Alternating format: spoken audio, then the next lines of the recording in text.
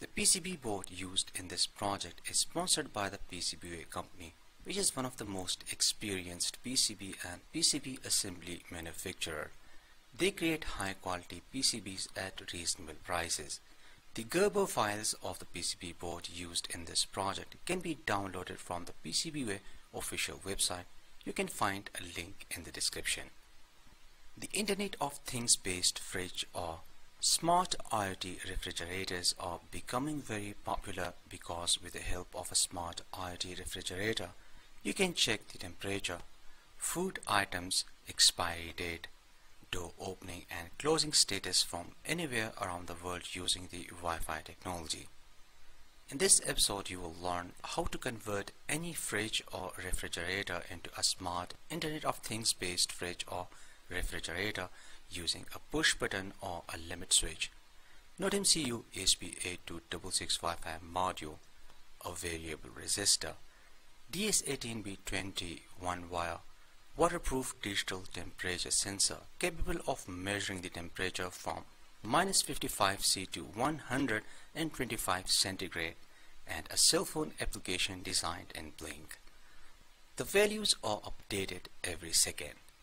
The notification messages are sent to the owner each time the temperature increases above or decreases below a certain predefined value which can be adjusted using a variable resistor. Any value between minus 40 and plus 40 can be selected.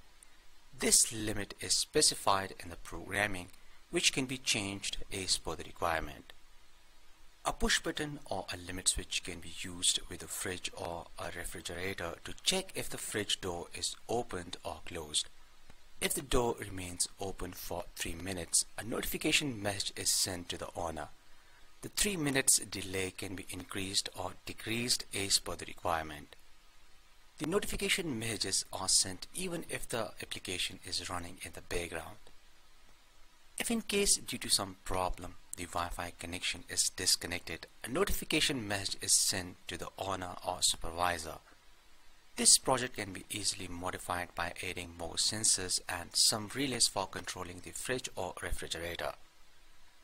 In this episode we will cover number 1 DS18B20 introduction number 2 complete circuit diagram number 3 interfacing Number 4 Blynk application designing and finally number 5 testing. Without any further delay, let's get started.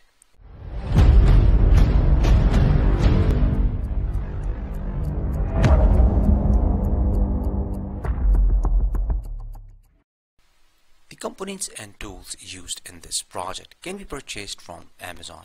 The components purchase links are given in the description. One-wire temperature sensors like the DS18B20 are devices that can measure temperature with a minimal amount of hardware and wiring. These sensors use a digital protocol to send accurate temperature readings directly to your development board without the need of an analog to digital converter or other extra hardware. You can get one-wire sensors in different form factors like waterproof and high temperature probes. These are perfect for sensing temperature in many different projects and applications. And since these sensors use the one-wire protocol, you can even have multiple of them connected to the same pin and read all their temperature values independently. The DS18B20 waterproof temperature sensor has three wires. The red wire is the VCC wire the operating voltage is 3 to 5 volts. In my case, I will use 3.3 volts. Yellow wire is the data wire. We usually connect a resistor between the data wire and VCC wire. I will explain this in the circuit diagram. The black wire is the ground wire. This wire is connected with a Node MCU ESP8266 Wi-Fi module ground. This temperature sensor is capable of measuring the temperature ranging from minus 55 C to 125 centigrade. This is the complete circuit diagram of the Smart IoT refrigerator based on the Node MCU ESP826655 module and DS18B20 waterproof one-wire digital temperature sensor. This schematic is designed in CadSoft Eagle 9.1.0 version. If you want to learn how to make a schematic and PCB then watch my tutorial. The link is given in the description. Let's first of all start with the 5 volt regulated power supply which is used to power up the Node MCU ESP826655 module.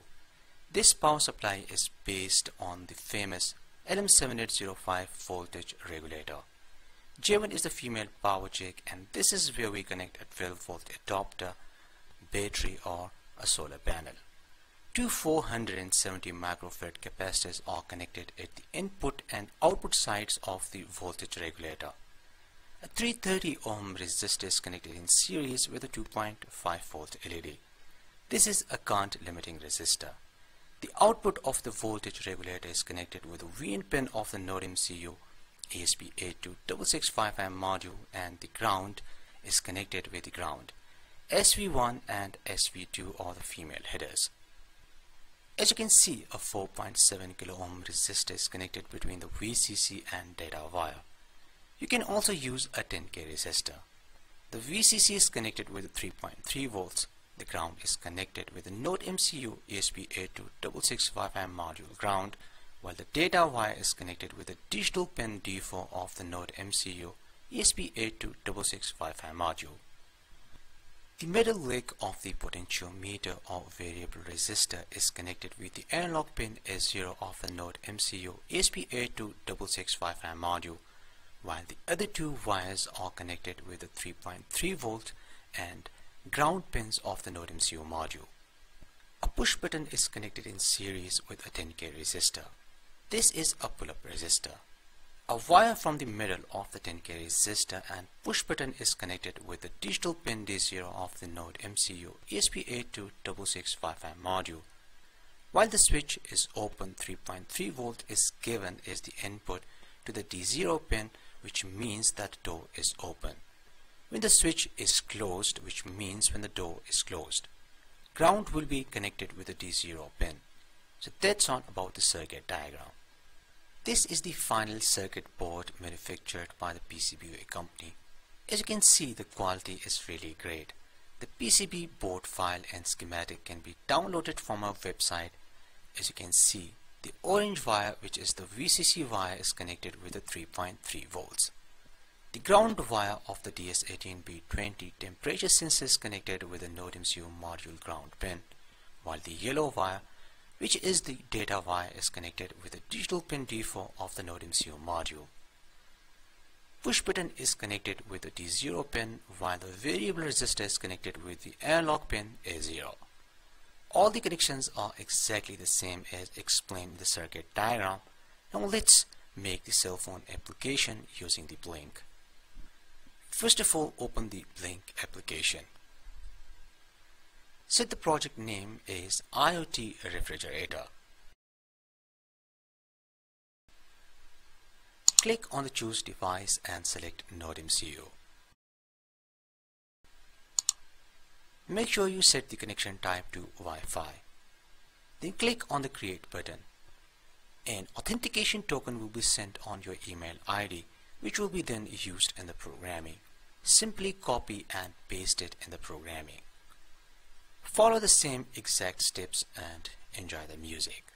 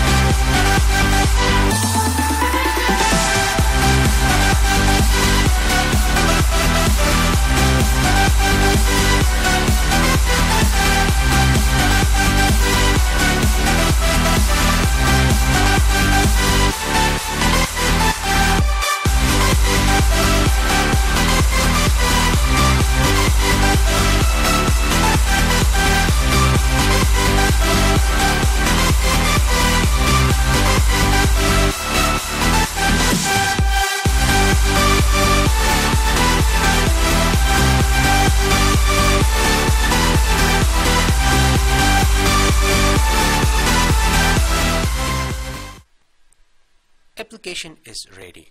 Now let's discuss the programming.